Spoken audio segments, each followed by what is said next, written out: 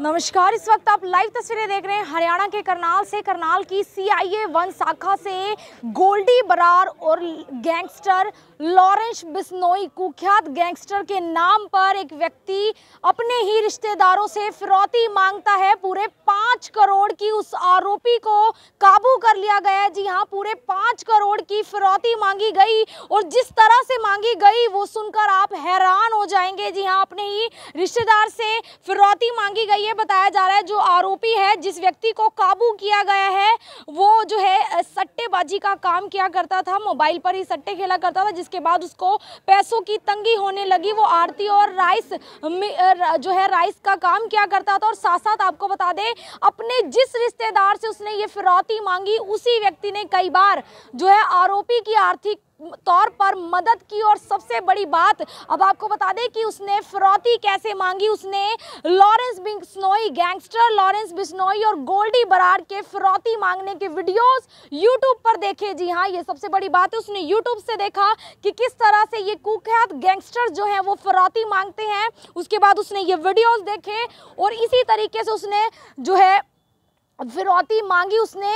सबसे पहले कुरियर के माध्यम से एक पत्र भेजा अपने ही रिश्तेदार को, जो इंद्री के पास के बताए जा रहे हैं। वहाँ पर उनको एक कुरियर के माध्यम से पत्र भेजा, जिसमें उसने लिखा कि मैं गैंगस्टर लॉरेंस बिश्नोई बोल रहा हूँ, और इस तरह से उसने पाँच करोड़ की फिरौती मांगी। जी हाँ पूरे पाँच करोड़ की फिरौती मांगी, और सबसे बड़ी बात उसके बाद बताया जा रहा है कि जिस तरह उसने यूट्यूब वीडियो देखे, उसके बाद फिरौती के लिए जो है उसने वो पूरा जो है एक कुरियर भेजा और उसके बाद बताया जा रहा है, खुद एक मोटरसाइकिल पर सवार होकर मुँह पर कपड़ा बाँध कर जो है पानीपत के एरिया के आसपास जो उसने वो फिरौती के पैसे मंगवाए थे। और सबसे बड़ी बात जो है ये मूल रूप से त्रावड़ी के रहने वाले बताए जा रहे हैं, लेकिन सेक्टर सात के आसपास जो है फ़िलहाल फ़िलहाल में रह रहे हैं। और तो इस पूरे मामले में सीआईए वन निरीक्षक गुरविंदर सिंह उनसे बातचीत करेंगे कि कैसे जो है आरोपी को पकड़ा गया, कैसे बड़े गैंगस्टर का नाम लेकर इसने जो है परिवार को धमकाया और सबसे बड़ी बात टीडीआई मॉल बताया जा रहा है, टीडीआई के आसपास जो है सोनीपत के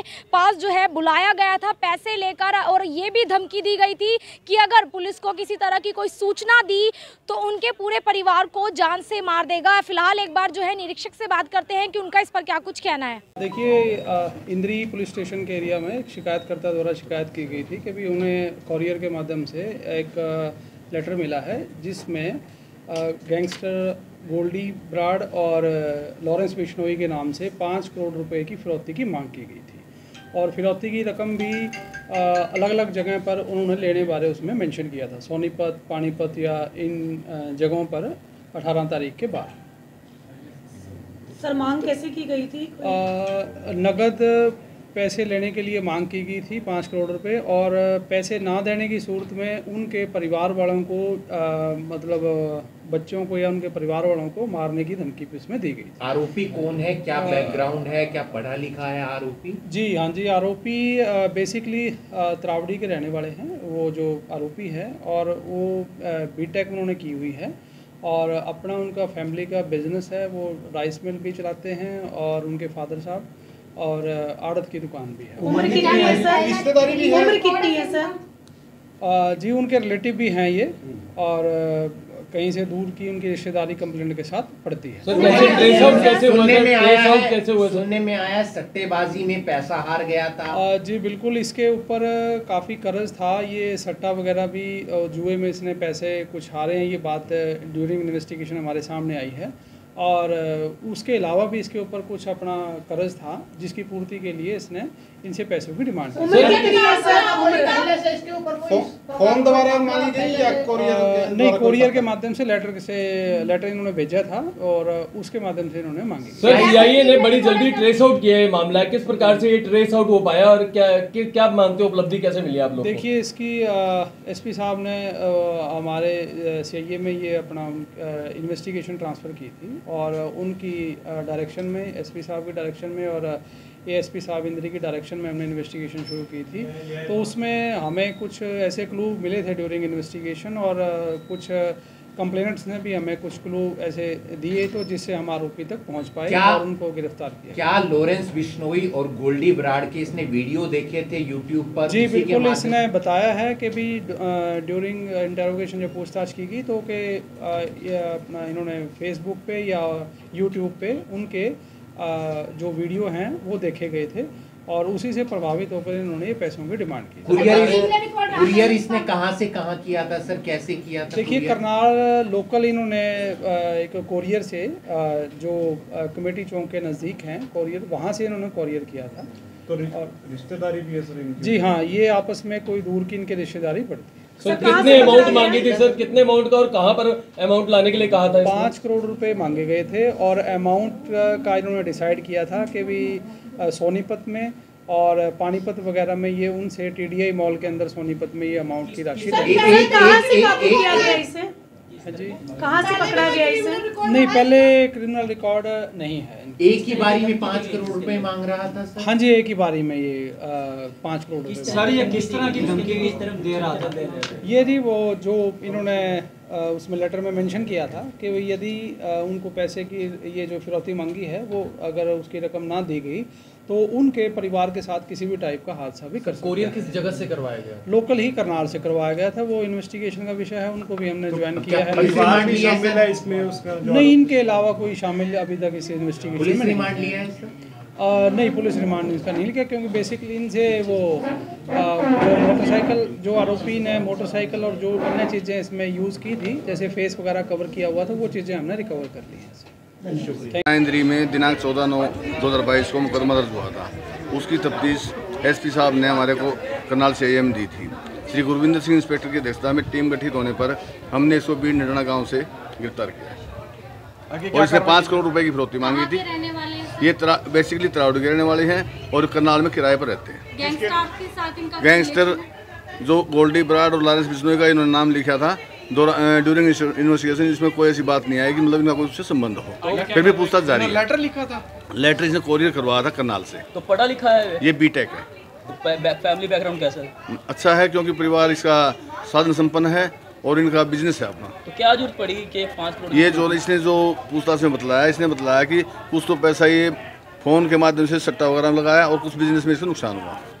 पुलिस को कैसे पता चला कि यही वो आरोपी जो इसने मतलब जहाँ से इसने लेटर को पोस्ट करके वहाँ कोरियर करवाया था वहाँ पर कुछ समय सीसीटीवी फुटेज मिले। फुटेज के दौरान फुटेज को हमने आधार बना करके हमने अपने मुखबरों से पूछताछ की। मुखबरों ने बताया कि ये आदमी हो सकता है। कुछ जो मुदई है मुदई ने कुछ आइडेंटिफिकेशन हमारे को बतलाया। तो नहीं बरामदगी जब उसने अभी तक कोई पैसा नहीं लिया था सिर्फ़ डिमांड। कितनी उम्र बताई जा रही है? थर्टी ईयर है। सर फिरौती की रकम कहाँ पहुँचाने के लिए T D I mall Sonipat. दूर का रिश्तेदार है। और आपस में मुझे इसको जानता भी है बाई फेस और ड्यूरिंग मतलब जो इसका वो आया है फ़ोटो आया फ़ोटो के दौरान मतलब जो बात सामने आई उसमें कुछ शनाखत हुई थी। फ़ोन से भी इसने संपर्क किया? नहीं फ़ोन से कोई संपर्क नहीं। सर इनका कोई गैंगस्टर गोल्डी नहीं अभी अभी तक कोई सामने नहीं आया।